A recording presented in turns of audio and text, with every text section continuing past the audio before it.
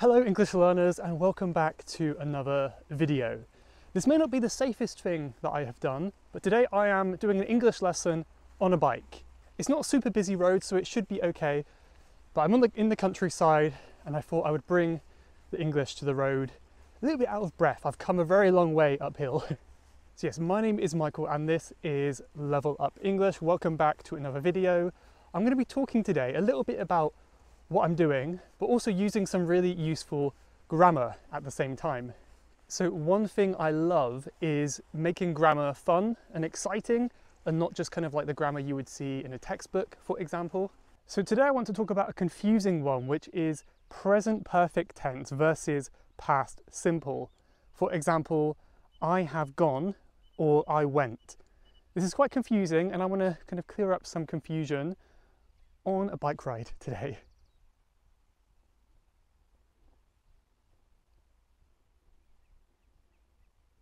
So here's a very quick and brief overview. Past simple is used for actions that happened in the past and have no effect on the present whatsoever. It's a completed action and it is finished, it's gone, right? So there's no more effect on the present.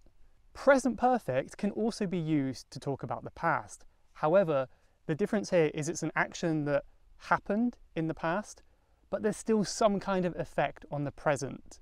So I'll give you some examples today.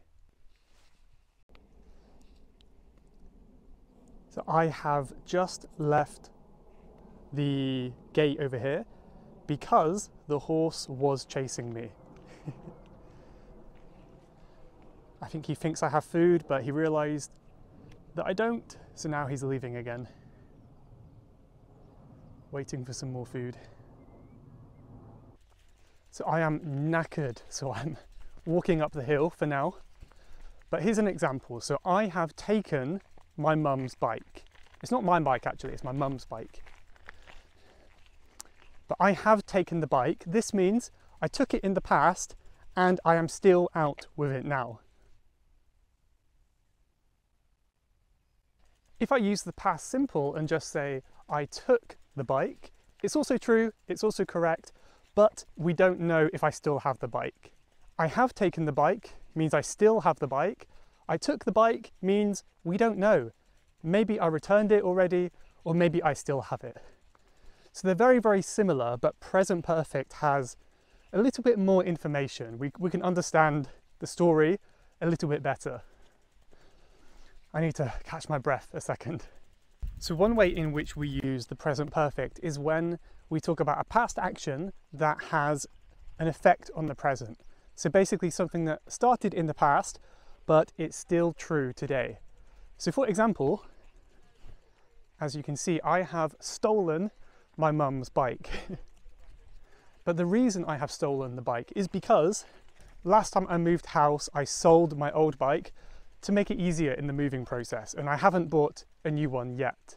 Here I use the present perfect, I haven't bought it yet. This is a negative sentence, because that means I can still buy it in the future. There's still a chance to buy it. If I say I didn't buy one, then that means there's no more chance to buy a bike in the future. So I have no idea how this is going to sound over the wind and the bike and all the noise and everything, but hopefully you can hear me. So for example, when I left the house about 30 minutes ago, I locked the door. I say past simple, I'm not using present perfect here. I locked the door and this is because I don't know if it's still locked. You know, maybe my mum got home and unlocked the door. I have no idea. But all I can say for sure is that I did lock the door. I have fed Louie the cat, however. So I have fed Louie, and that's because he is still full. You know, he doesn't need feeding anymore. If maybe it was yesterday and, you know, the food he ate is no longer enough for him, I could use past simple, but because I've just fed him recently, I can say I have fed Louie, so don't worry, you don't need to feed him.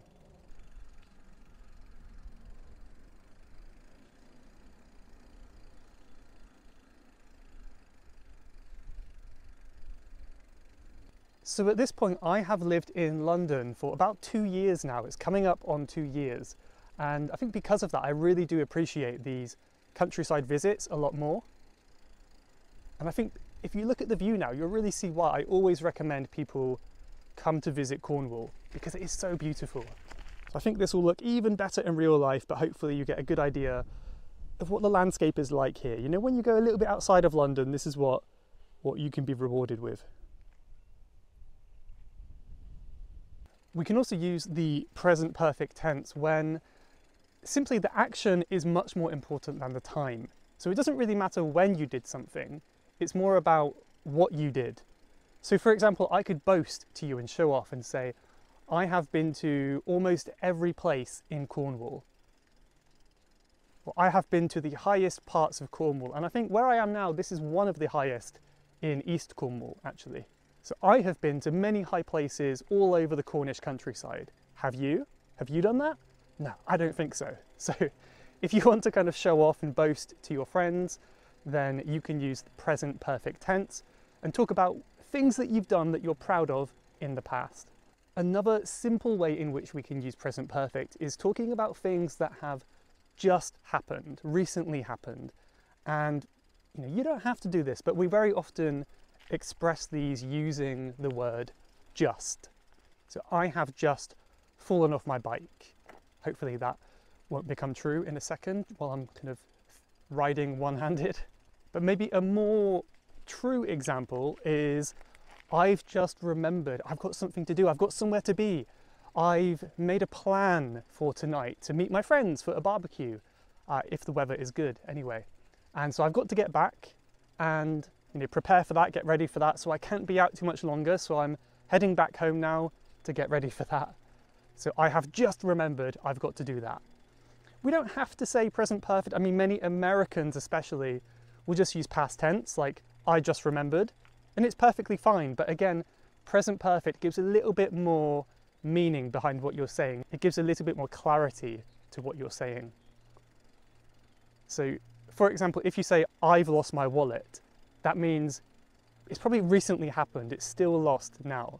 You could say, I lost my wallet, it's just not as clear if it's a problem now or something that happened in the past. You can see a massive rain cloud behind me, can't you? I think it's probably another reason why I've got to get back as soon as possible before this rain cloud hits me.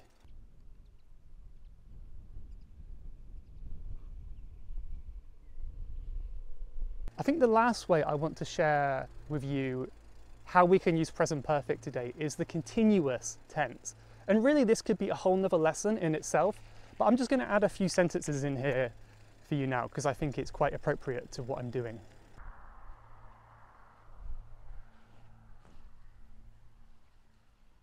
The wind is starting to pick up a little bit now. I think that storm cloud is bringing in the wind and hopefully I'm not going to be caught out in the rain. But yeah, so I have been cycling for about one hour now. So here I'm using continuous tense, right? I have been cycling for one hour. That means it started in the past, it's continuing now, but I'm using continuous to emphasize that it's an ongoing activity. So it's an ongoing activity, it's a long one, and I'm emphasizing that time. I have been cycling for one hour, I have been talking for five minutes.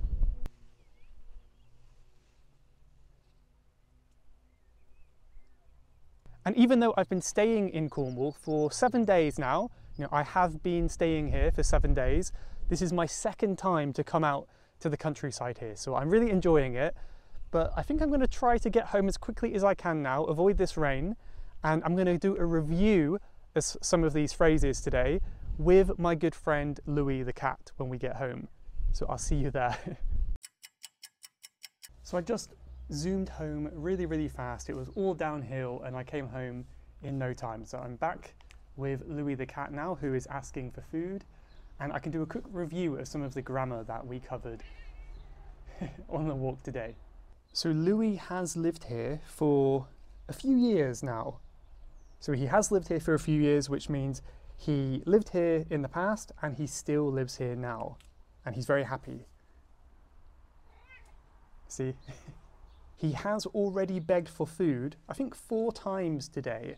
So he has begged for food four times or so, but we can use present perfect because the day is not over yet, so he may beg for more food later. So he has begged for food four times, but he may beg another time this evening.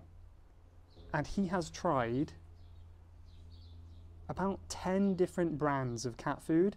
He's a very fussy boy. So here we're talking about how many he's tried in the past. If we talk about something that happens again and again in the past, we can just use present perfect. He has tried 10 cat foods over his life. And he doesn't like any of them, apart from this one. This is his favourite snack. He has done a lot of brave things. For example, he has chased cats away from the garden, you know, other cats who may be intruding on his territory. He's chased them away. So here we're talking about what he's done. He's proud of it. The action is important, but the time is not important. So he has chased away many, you know, enemy cats, for example. And finally, he has just woken up. This is something that's recently happened. He has just woken up, and I think that is why he is so hungry. So from me and from Louie, goodbye for now. I hope you enjoyed this video. If you did, let me know in the comments, but I'll see you in the next one. Goodbye.